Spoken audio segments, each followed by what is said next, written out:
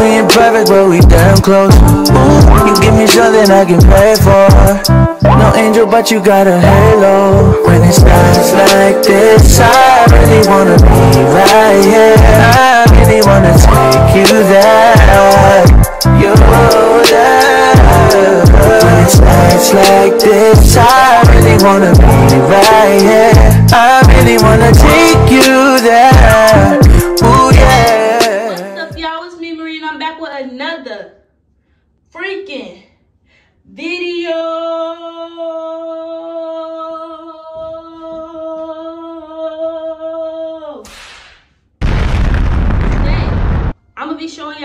install a 360 lace frontal and also different hairstyles to do with it. Um, I am like literally in love with this hair, like literally I'm gonna marry it. So definitely go to Tinashe Hair. We are sponsored today. They sent me this wig, this 360 lace frontal wig. Um, it is 22 inches deep wave. All the information, as long as a code I think I'll have to, you know, save you guys some money will be in the description box below. So make sure you check that out before, after you're done watching this video. Make sure you guys watch the whole video because I definitely had fun playing with this hair. It was amazing but i'm not gonna spoil too much uh again make sure y'all like comment and subscribe because we're on the way to 50k um so i'm just gonna get right into the video Alright you guys, so this is the hair as you can see it's completely 360. It came with four combs and also adjustable strap. In the bag it came with a little brochure with you know all the information on there so y'all definitely go follow them and a lot of good information about the hair.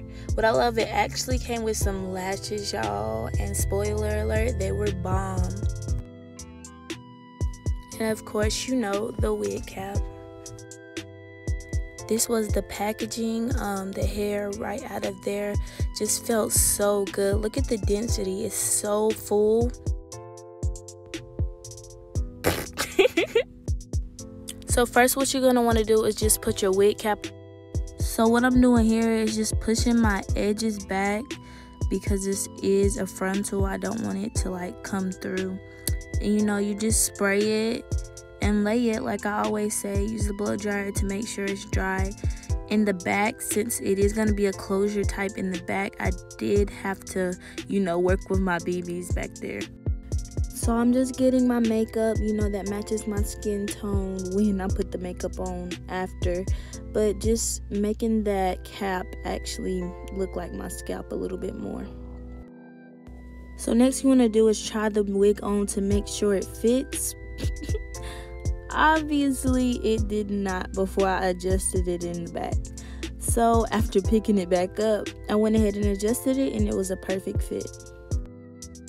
So next what you want to do is, you know, play around with it, see where you want your hairline to be with the wig. So that's just what I'm doing. Now on all, mostly all 360 closures, there's always those dotted lines on the side and that is where you need to cut. And then I just mark where my ears are because that's where you're gonna need to cut also. So you need to take the wig back off, go to those dotted lines and just cut them.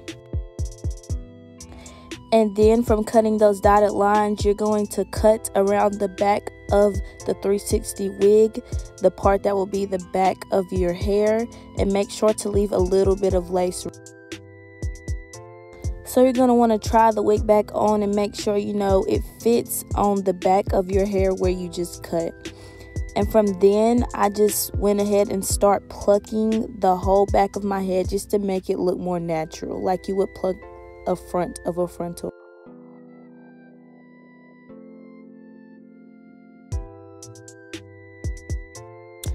So just try the wig back on again. Remember those lines that we just made from your ear. You're going to want to cut these now.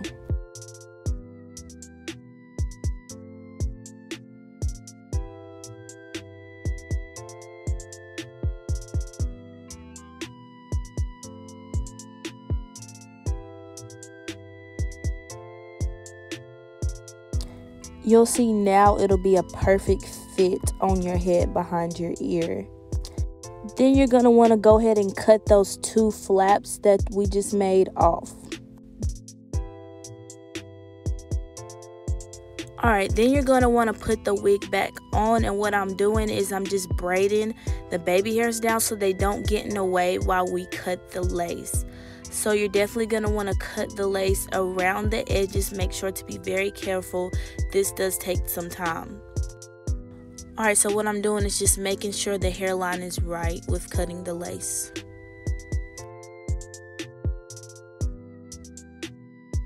Alright, for the next part where we're about to glue it down, you're going to want to put the hair up because you are gluing it down around the whole head. So you don't want that hair getting in the way. So, you know, as I say, spray down and lay down. Just like you would do um, the wig cap, I just sprayed it and then I put the closure on top when it got tacky and just dried it again to make sure it was really secure. And I just continued to do that around the whole head.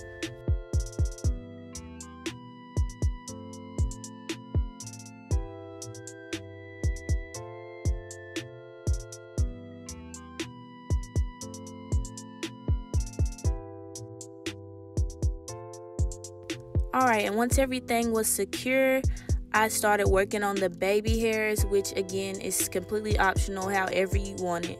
I always struggle with baby hairs, so I'm just gonna cut this part out.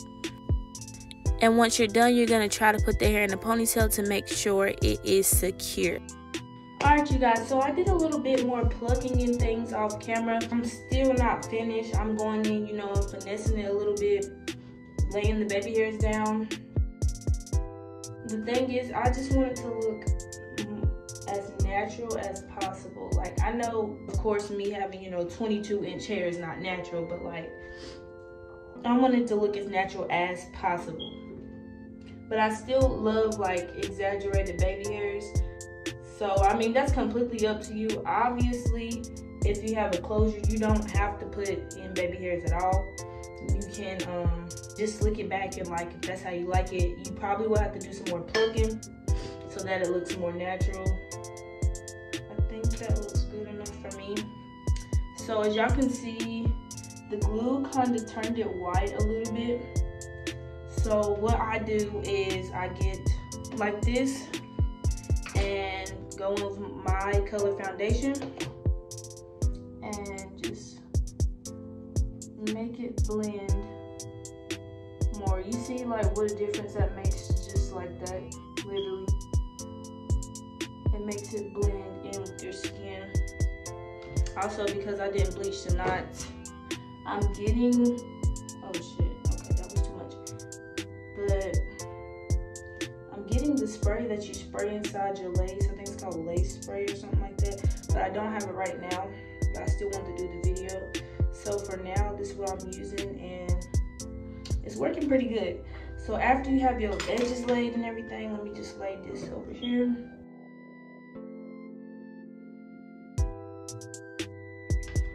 Just gonna want to put your scarf on.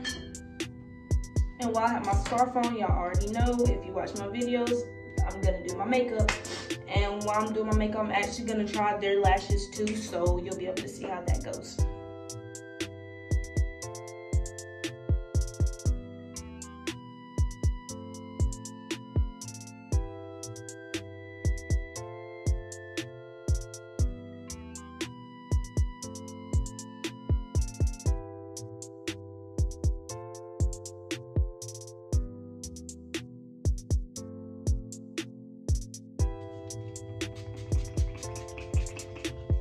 Lashes that come with the hair. Beautiful. Anyways, so this is um what it looks like after finishing all the plucking and baby hairs and everything. Y'all know it takes me a while with baby hairs. Um, yeah, so the next thing I'm about to do is show you guys how different ways you can style your 360 frontal, the 360 wig. Uh, if you have maybe frontal too, without it being 360 in the back. Um, a lot of these styles are just using this up here, different ways to use this up here, and some of them are using the whole hair. So you know it's definitely for frontals and it's also for 360 wigs. Make sure you keep watching to see a few different hairstyles that I do with this wig that I think are super cute and will most definitely look good on y'all, period.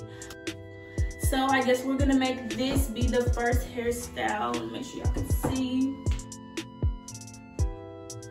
Second hairstyle I'm gonna be doing is a half up, half down ponytail.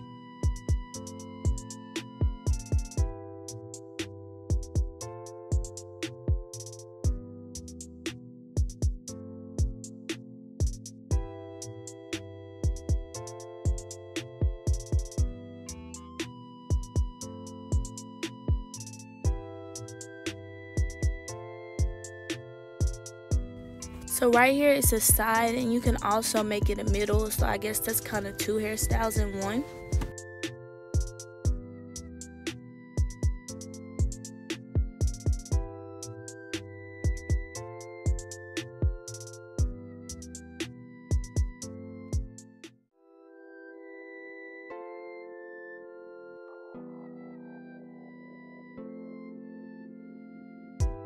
So I'm not sure what this is called, but you can either braid it or twist it if you're like in a rush and it makes for a cute hairstyle.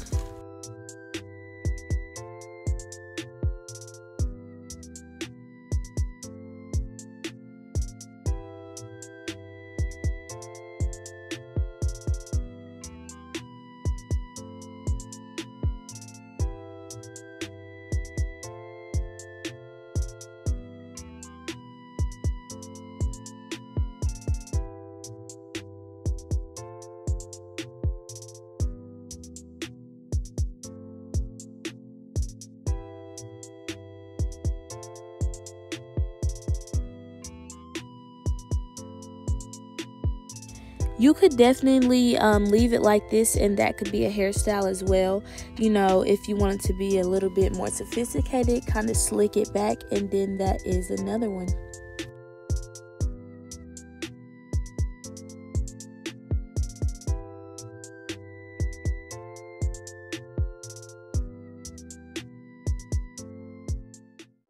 So this is just pretty simple. It's just a slick back ponytail.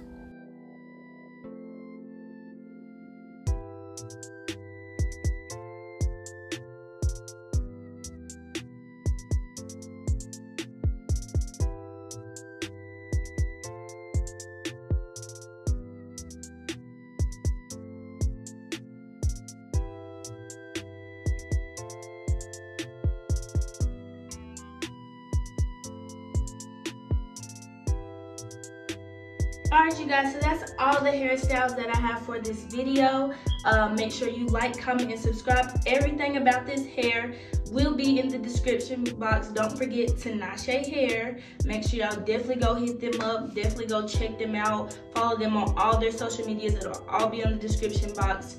Um, let me know how I did. Comment, let me know how I did because it's my first time doing a 360 closure. So I did kind of struggle with it, but you know, I think we did okay. What you think? What you think, sis? Hmm. Hmm. All right, but that's gonna be the end of this video. Make sure you like, comment, subscribe. I already said that, but anyways, I'm saying it again, so that means you gotta do it. We is at 42K. We on the road to 50K, period. So y'all definitely help me out. Make sure you watch my other videos because I do a wide range of different kind of content on here. I literally do everything. So make sure you do that. Bye.